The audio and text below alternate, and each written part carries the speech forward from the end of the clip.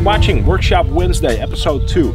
A uh, number of things happened this week. One of them is all of this uh, ring wall bit that I showed you last week got filled in with uh, gravel.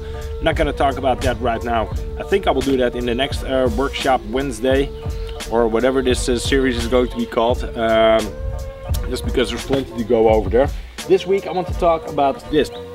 This is still old foundation. Now there is uh, there is a cement floor in this. It is, however, it's not reinforced. So what I'm going to do is I'm going to pour concrete over this.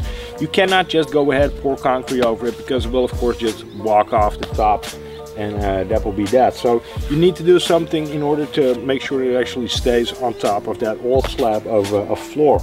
Um, number of ways to do that. One of them is uh, lay a row of bricks and uh, make sure that it's all, uh, all sort of like watertight, airtight. So your new concrete doesn't flow out. Another one is make a box around it with like uh, wood, not like this by the way, uh, and then pour everything in one go. Now if the side of it is a tiny bit wonky, you do risk uh, the concrete sort of like sagging out. And once it starts to push out uh, the box with all the weight that you're going to pour on top, there's really no stopping it. And you risk basically emptying that entire box before uh, the concrete has set.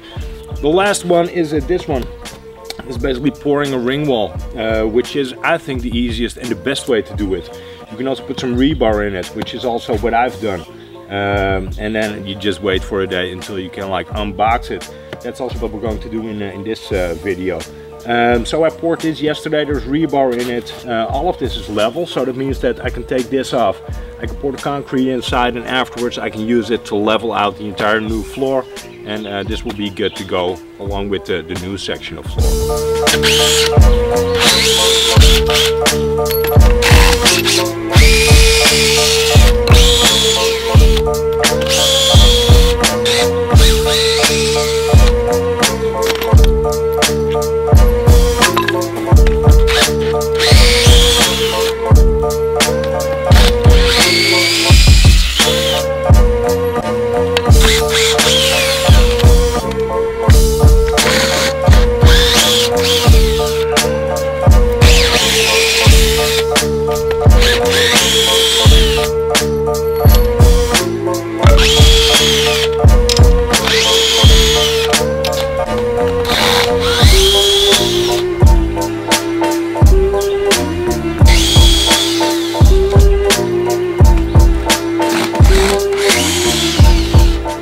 especially this area over here. This is one of the more problematic areas. This is a different uh, type of brick that they actually use.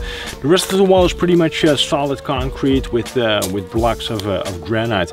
This is actually, I don't even know what this is. It's some old type of open structured concrete which got uh, damaged when I tore down the shed. So that's also what explains this extra uh, bit of wood down here. I'm going to pull this off, see what happens.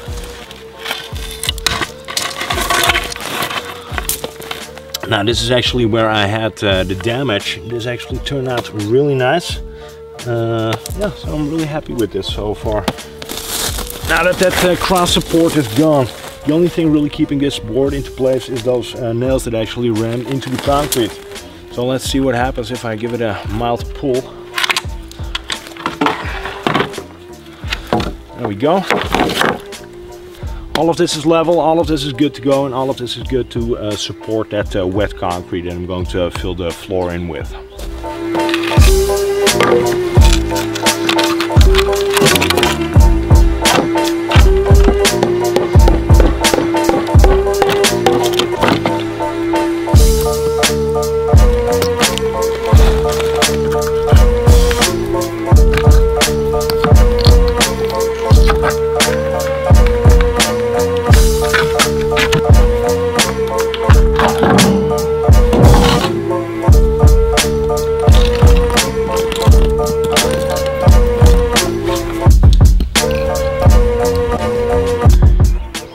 Perhaps you can tell behind me that I also boxed up that uh, section around the, the, basement opening right now.